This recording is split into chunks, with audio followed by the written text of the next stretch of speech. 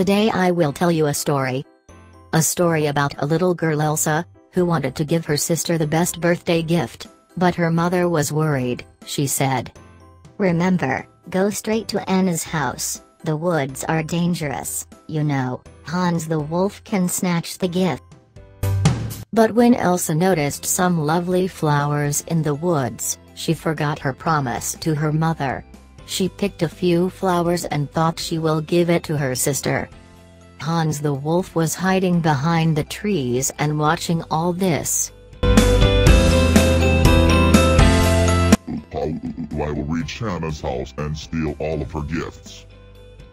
He took a shortcut and reached Anna's home. Anna was not present in her home. He laid in Anna's bed and took a quilt on him. His whole face was hidden. When Elsa reached there he said in Anna's voice, Oh, Elsa, give me my gift. Boy, Anna, what happened to your voice? Oh, I ate a lot of ice cream yesterday, so I have a bad throat today. Suddenly she saw a tail hanging from bed. She was shocked, she said. Anna, what is this? Who are you? I am Hans the Wolf. Give this gift. After saying this he started laughing badly and jumping on the bed. In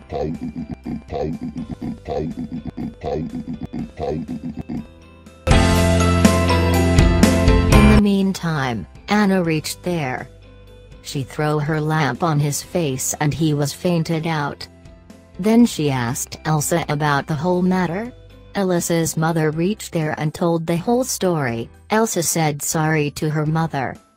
But, my child, never forget the advice of your parents and in your life you will get two paths. Never get fooled of shortcut, because it can be harmful for you and Anna never leave your home open because any stranger can get in and it can be very harmful for all of us.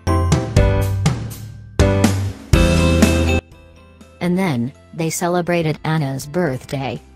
So kids, tell us which part of the story did you like the most and what did you learn from it? If you have enjoyed this story please like us and subscribe and we will come with another one. Goodbye.